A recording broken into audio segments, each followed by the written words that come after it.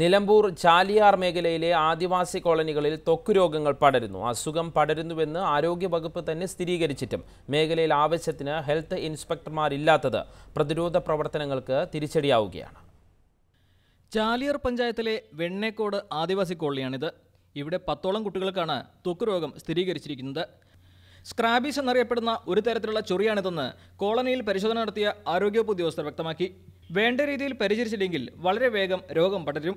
ചാലിയാർ പഞ്ചായത്തിലെ മറ്റൊരു കോളനിയായ പെരുവമ്പാടത്തും ഇതേ അസുഖം പടർന്നതായും സൂചനയുണ്ട്. മുപ്പത്തിമൂന്ന് ആദിവാസി കോളനികളാണ് ചാലിയാർ പഞ്ചായത്തിലുള്ളത്. ഇവയെല്ലാം എത്തിച്ചേരാൻ ദുർഘടമായ സ്ഥലങ്ങളിലാണ്. അതിനാൽ എല്ലായിടത്തും മെഡിക്കൽ ക്യാമ്പ് നടത്തുക പ്രായോഗികമല്ല. ഇവിടങ്ങളിൽ സ്ഥിരം പരിശോധന നടത്താൻ ജീവനക്കാരില്ലാത്തതാണ് ആരോഗ്യവകുപ്പിന് മുമ്പിലെ വെല്ലുവിളി. മരുന്ന് കൊടുക്കുക എന്നുള്ളത് മാത്രമേ നമുക്ക് പറ്റുന്നുള്ളൂ. നമുക്കൊരു ഫോളോ അപ്പ് ചെയ്യാൻ ഇവിടെ സ്റ്റാഫ് നമുക്ക് ഇല്ല.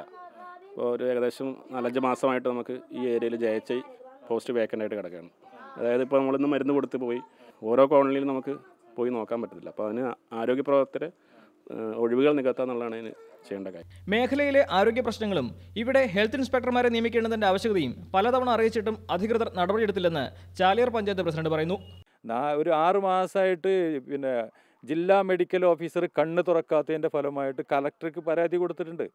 കലക്ടർ അടിയന്തരമായിട്ട് പരിഹരിക്കാമെന്ന് പറഞ്ഞിട്ടുണ്ട്. പക്ഷേ പരിഹാരം ആകുന്നില്ല ഇക്കാര്യത്തിൽ ആരോഗ്യവകുപ്പ് ഇനിയും തീരുമാനമെടുത്തില്ലെങ്കിൽ ചാലിയാർ മേഖലയിലെ ആദിവാസി കോളനികളിൽ അസുഖങ്ങൾ പടരുന്നത് തുടരുക തന്നെ ചെയ്യും.